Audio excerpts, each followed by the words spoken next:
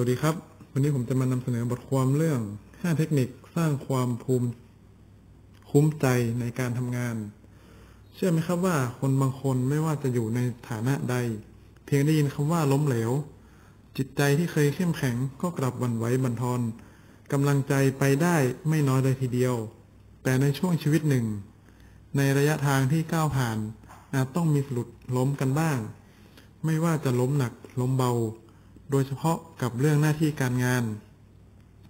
วันนี้คุณเป็นคนหนึ่งที่อยากได้ภูมิคุ้ม กันบำรุงใจ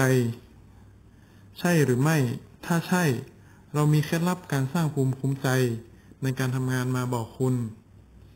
ข้อหนึ่งทัศนคติที่ดี ปรับทัศนคติให้เป็นกลางมากที่สุด อย่าคติตั้งแต่แรก ถึงแม้ในออฟฟิศจะมีหัวหน้างานหรือเพื่อนร่วมงาน ที่คุณไม่อยากพบเจอและร่วมงานด้วย แต่การมองโลกในแง่บวก จะช่วยให้คุณสบายใจขึ้น และช่วยให้สถานการณ์ต่างๆ ในที่ทำงานไม่เลวร้ายไปกว่าเดิม 2. รู้จักแยกแยะ เรื่องงานเรื่องส่วนตัว อย่าเอามาปะปนกัน หากคุณไม่พอใจกับนิสัย บางอย่างของเพื่อนร่วมงาน แต่คนคนนั้นไม่ได้ทำหน้าที่บกพร่องในเรื่องงาน คุณต้องยอมรับว่าเขาเป็นคนที่มีความสามารถคนหนึ่ง อย่าเอาความรู้สึกส่วนตัวมาบดบังเรื่องงาน แยกแยะให้ได้ เวลาจะต้องคุยงานก็ทำตัวเป็นปกติ แล้วนอกเวลาคุณจะไม่คุยนั้นก็เป็นอีกเรื่องหนึ่ง 3. มีธรรมะในใจ ศาสนาทุกศาสนามีคำสอนมากมายที่สามารถนำมาใช้ในการดำเนินชีวิตประจำวันได้ ที่แนะนำสำหรับ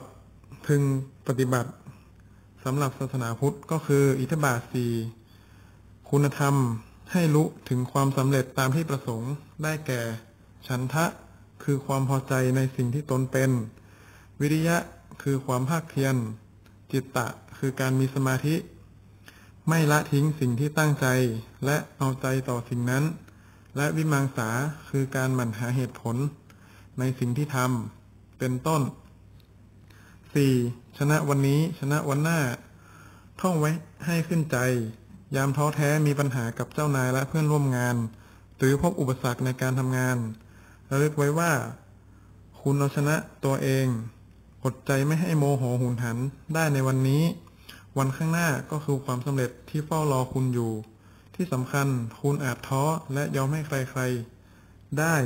แต่ที่สำคัญต้องชนะใจตัวเองเสมอ และข้อ 5 พลิกมุมมอง ในที่นี้หมายถึงให้คุณรู้จัก เป็นคนพลิกแพลง เปลี่ยนเป้าหมาย จากเรื่องร้ายให้กลายเป็นเรื่องดี ฝึกหัดคิดและมองหลาย ๆ มุมคำว่าล้มเหลว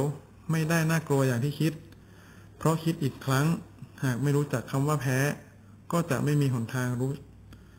รู้จักความหมายของคำว่าชนะที่แท้จริง ขอขอบคุณข้อมูลดี ๆ จาก h e l l กระปุก .com